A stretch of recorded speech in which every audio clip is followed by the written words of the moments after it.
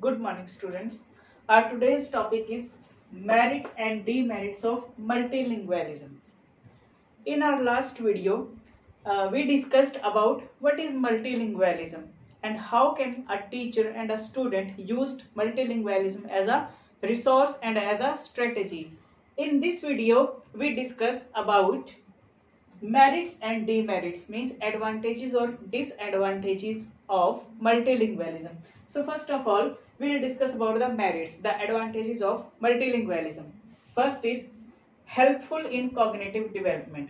Multilingualism जो है वो कॉग्निटिव डेवलपमेंट मीन्स हमारे जो संज्ञानात्मक जो हमारा विकास है हमारा जो बौद्धिक विकास है उसके लिए हेल्पफुल है मीन्स लर्नर्स के लिए हेल्पफुल है कि लर्नर्स का इसके थ्रू हम संज्ञानात्मक उनका बौद्धिक विकास कर सकते हैं क्योंकि मल्टीलिंग्वलिज्म के थ्रू हम मोर देन टू लैंग्वेजेस में, कई सारी लैंग्वेजेस में उसको कॉन्सेप्ट जो है वो क्लियर करवा सकते हैं, जिससे कि उसका जो बौद्धिक विकास है, उसको उस कॉन्सेप्ट की नॉलेज हो जाती है और फिर वो उस कॉन्सेप्ट को अपनी फ्यूचर लाइफ में मीन्स अपनी डेली लाइफ में जहाँ कहीं चाहे वो अप्लाई कर सकता है उसको। नेक्स्ट है मेक स्टूडेंट्स एक्टिव मल्टीलिंग्वलिज्म के थ्रू हम स्टूडेंट्स को क्लासरूम में एक्टिव रख सकते हैं, क्योंकि इसके थ्रू एक टीचर क्या है? कई सारी लैंग्वेजेस का यूज़ करेगा क्लासरूम में और स्टूडेंट जिस लैंग्वेज के साथ फेमिलियर होंगे, जिस लैंग्वेज में उनको ज़्यादा समझ में आएगा, उस लैंग्वेज को वो अटेंटिव होकर के सुनेंगे। उस लैंग्वेज में जब टीचर बोलेगा कॉन्सेप्ट को एक्सप्लेन करेगा टर्म्स को एक्सप्लेन करेगा तो स्टूडेंट्स जो है वो एक्टिव होकर इसमें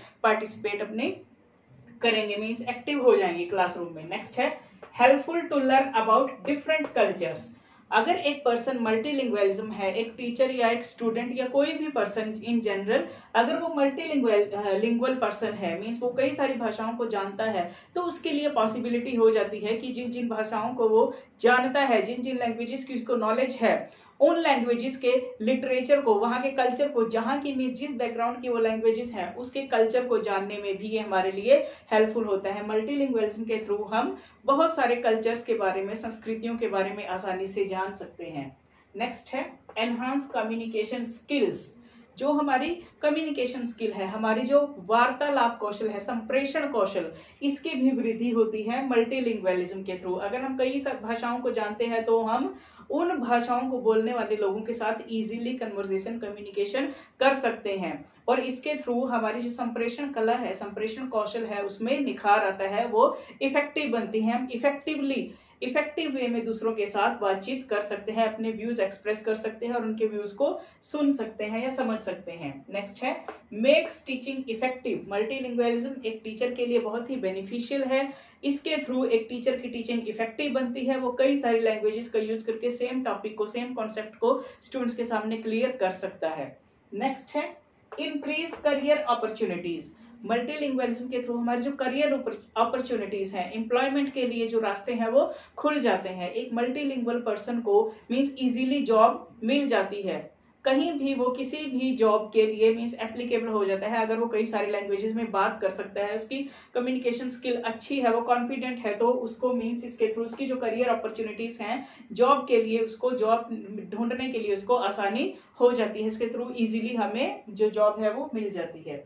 Improve memory of learners multilingualism के थ्रू जो लर्नर्स हैं, जो स्टूडेंट्स हैं, उनकी जो मेमोराइजेशन है, जो मेमोरी है, वो भी उनकी इंक्रीज होती है. मीन्स याद रखने की जो क्षमता है उनकी, चीज़ों को, वो बढ़ जाती है. क्योंकि एक टीचर कई लैंग्वेजेस का यूज़ करके सेम टॉपिक को पढ़ाता है, जिससे कि वो टॉपिक बार बार रिपीट होता है और इसके थ्रू उनके माइंड में वो ज़्यादा टाइम तक रह सकता है. या फिर अगर स्टूडेंट मल्टीलिंगुअल है, वो सेम टॉपिक को कई सारी लैंग्वेजेस में रीड आउट कर सकते हैं। एक लैंग्वेज में उनको थोड़ा वो क्लियर नहीं हुआ तो वो दूसरी लैंग्वेज की बुक में सपोज़ हिंदी मीडियम में क्लियर नहीं हुआ इंग्लिश मीडियम की बुक में से उसको इजीली वो कर सकते हैं, जिसके थ्रू उनकी जो मेमोरी पावर है, वो इंक्रीज हो जाती है। तो ये थे मेरिट्स ऑफ़ मल्टीलिंग्वलिज्म अब हम देख लेते हैं कि इसके क्या क्या डीमेरिट्स हैं। इसके डिसएडवांटेजेस क्या क्या हैं। फ़र्स्ट है स्टीरियोटाइप पीपल अपोज मल्टीलिंग्वेलिज्म पहला है जो stereotype people stereotype people means रूढ़ीवादी लोग जो हैं, वो मल्टीलिंग्वेलिज्म को बहुभाषावाद का विरोध करते हैं। जो रूढ़ीवादी लोग हैं, जिनकी सोच थोड़ी सी मीन्स पुरानी है, जो कि अपनी लैंग्वेज के साथ जो जुड़े हुए हैं पुराने कल्चर के साथ, वो नई चीज़ों को इजीली अडॉप्ट नहीं कर पाते, जो स्टीरियो लोग हैं। तो इसीलिए वो नई नई भाषाओं को अडॉप्ट नहीं कर पाते, वो इसका विरोध करते हैं मल्टी लिंग्वेलिज्म का, कि हमारी जो मातृभाषा है, बस वही एक लैंग्वेज है जो फॉरमोस्ट है। इसके अलावा वो और भाषाओं को जानने पर इतना ध्यान नहीं देते, या फिर वो इस चीज़ को का विरोध करते हैं। नेक्स्ट है lack of skilled teachers multilingualism के लिए एक स्किल टीचर का होना बहुत ज़रूरी है, जिस टीचर को कई सारी लैंग्वेजेस की नॉलेज हो। वो उन लैंग्वेजेस को इजीली बोल भी सकता हो, समझ भी सकता हो, उनको रीड भी कर सकता हो राइट भी कर सकता हो। और ऐसे टीचर्स का आजकल अभाव पाया जाता है, जो कि मल्टीलिंग्वलिज्म को क्लासरूम में एज अ स्ट्रेटेजी और as a resource effective way में यूज़ कर सकते हैं। नेक्स्ट है many languages can shift the focus of the students multilingualism में हम कई सारी भाषाओं का प्रयोग करते हैं और इसके द्वारा क्या होता है, जो स्टूडेंट है, उनका फोकस जो है वो कभी इस लैंग्वेज पर शिफ्ट होता है, कभी उस लैंग्वेज पे शिफ्ट होता है मीन्स उनका जो फोकस है, उनका जो केंद्र है वो ध्यान केंद्रित नहीं कर पाते वो। इसीलिए उनका फोकस जो है वो शिफ्ट होता रहता है। कभी हिंदी, कभी इंग्लिश कभी पंजाबी, कभी संस्कृत, कभी मीन जिन जिन लैंग्वेजेस का हम यूज़ करते हैं, उन उन लैंग्वेजेस में उनका फोकस जो है वो, उनका ध्यान जो है वो केंद्रित नहीं होता शिफ्ट होता रहता है इधर उधर develops habit of mix different languages अगर हम मल्टीलिंग्वलिज्म का यूज़ करते हैं तो हमारी एक हैबिट डिवेल्प होती है कि हम किसी भी भाषा को उसके शुद्ध रूप में नहीं बोल पाते। हमारी हैबिट डिवेल्प हो जाती है कि हम बहुत सारी, कई सारी भाषाओं को मिक्स करके बोलना शुरू कर देते हैं। तो एक जो मानक रूप होता है एक आदर्श रूप होता है, एक लिपिबद्ध रूप जो होता है किसी भाषा का, वो हम नहीं बोल बोल पाते लैंग्वेजेस को मिक्स करना स्टार्ट कर देते हैं।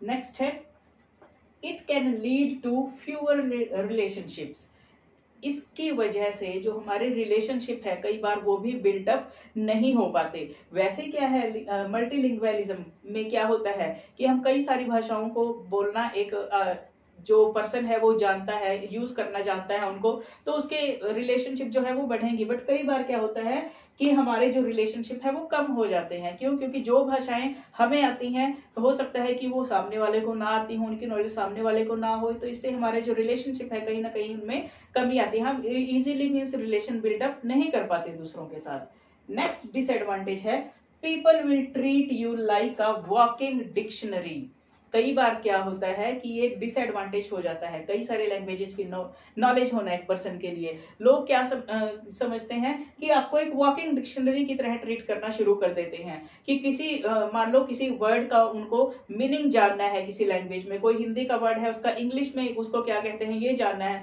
तो वो बार बार आपसे पूछेंगे कि इसको इंग्लिश में ट्रांसलेट करके बताओ। इंग्लिश टू हिंदी ट्रांसलेट करना है। अगर किसी को इंग्लिश के वर्ड की मान लो उसको उसका मीनिंग नहीं आता या उसकी ट्रांसलेशन नहीं आती तो वो आपको कहेंगे पूछेंगे बार बार कि इसको हिंदी में क्या बोलते हैं, इसको इंग्लिश में क्या बोलते हैं, इसको उर्दू में क्या बोलते हैं, इसको पंजाबी में क्या बोलते हैं तो आप क्या है?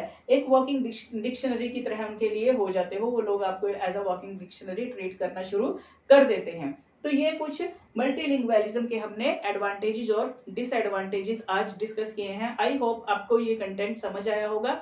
Thank you so much